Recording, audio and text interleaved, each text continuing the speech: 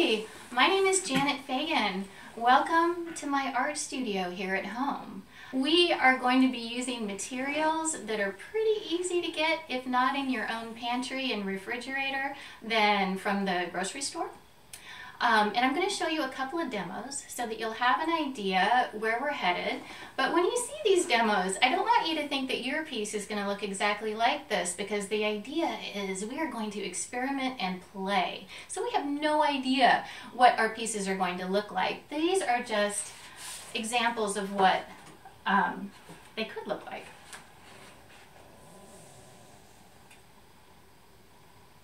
So I want you to just notice any shapes that you see. Take a look at the different colors. I'll show you one more.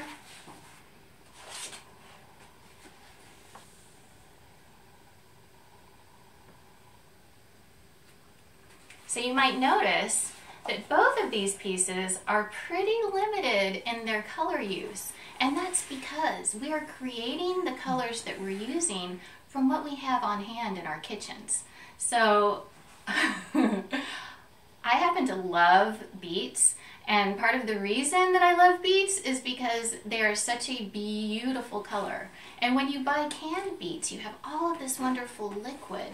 And beet juice is actually what's making part of the pinks in this piece, okay? The other colors that you see are coming from frozen blackberry juice and pomegranate juice. so the way that we're getting these wonderful colors onto our papers is with spray bottles.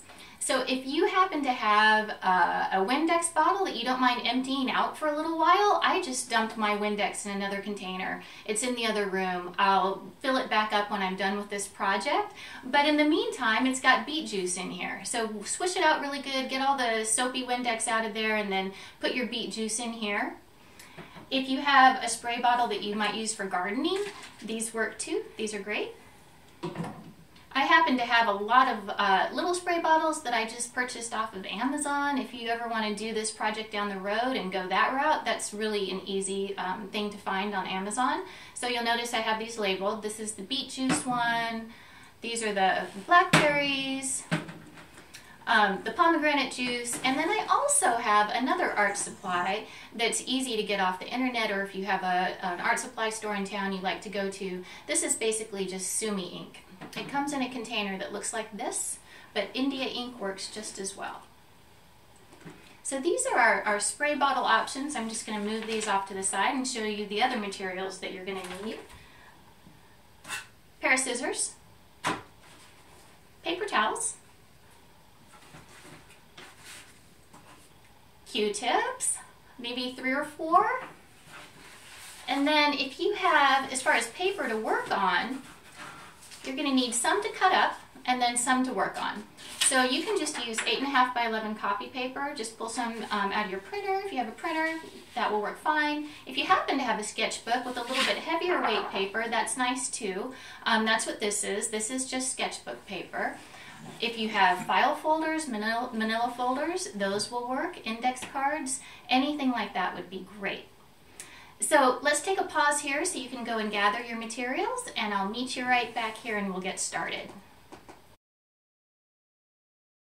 So now that we're back, um, our first step is going to be to cut out some shapes. We're going to use these shapes to create a resist to make a pattern in our composition. So as you can see, I've already cut a few shapes out to get started.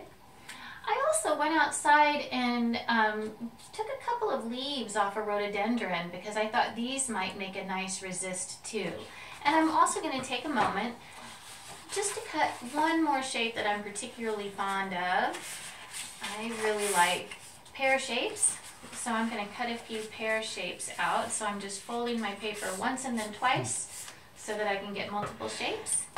And then I'm just going to jump in and these shapes don't have to be perfect so I'm not worrying about perfection. I'm just to have fun moving my scissors around and turning the paper as I go till I get something that sort of maybe kind of looks like a pear. That's great. That's good. And I'm to go with it. So now we have a nice selection of shapes because what's fun is to work on several pieces. So this project can move right along and you can create um, several in a short amount of time. So we're going to jump right in. I'm going to grab a piece of paper. You can turn it any way you like, horizontal or um, vertical. I'm going to start vertically with this one. And I'm going to start with a, a large pear shape. And which, I'm just going to grab this first bottle, which is the beet juice. So I'm going to put my, my shape on my paper, just hold it down lightly with my fingers, give the bottle a little shake, and then spritz. I'm going to move the shape a little bit. Spritz again. Ooh, it's fun. One more time. Creating kind of a, a rhythm with repetition. Oh, once more just for kicks. All right. Ooh, I love this. So you'll see that the shape that you were using to resist has all of this wonderful juice on it. So what happens if you just kind of let that act as a stamp? Oh, look at that line. That's beautiful. So now we can just repeat that motion if we'd like to create a different rhythm. Let's see what we've got. I'm noticing right away that I have some wonderful pooling color up here. So it's a perfect opportunity to take a Q-tip dab into the pooling color and create some texture. So I'm just pulling the color out of the pool here and creating some dots with the Q-tip. The other thing that's fun to do is to pull the color down, creating some some lines just by dragging the, the Q-tip through the juice. Ooh, that's kind of fun. I'm going to try it down here too. Yeah. If you do something in one place on your composition, it's always fun to try it in another place in your composition as well. And what this does is it creates harmony because you have similar patterns, approaches, textures, in more than one place so your eye can find them as it moves around the composition.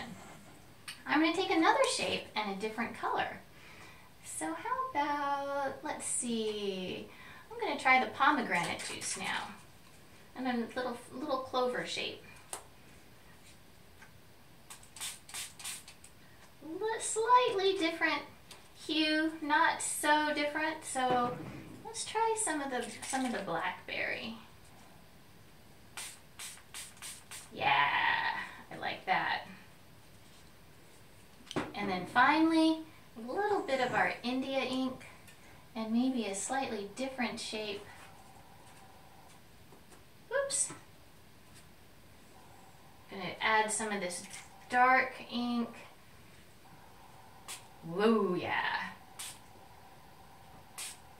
Yeah, and then maybe a little bit down here. Actually, I'm gonna flip it over and use it like a stamp. Give it a little rub. Kind of wants to stick to the paper, that's okay. Place it down again. Yeah, a little bit lighter each time, that's kind of cool. All right. So I think I'm gonna just go off to the side and just spray directly on my Q-tip because I want to make some little dots like I did with the beet juice with the India ink. I'm just going to have fun with this. Yeah. And I think now I'm going to move on to a different one. I'm going to put this one off to the side to dry. Touches. So I'm just going to go back to one of the demos real quick show you what I mean. So when we look at this one together, you can see that all of the black and white is from the ink and from using the resist of the shapes. But then the red that you see, I added that in with colored pencil. So the fun add-on for this project, you can stop right there or you can take pens, markers, crayons, colored pencils, anything you like and go into these again after they're dry for another layer. The main thing is, is just to experiment and have fun. Remember, there aren't any rules. This is just for you to play and to enjoy.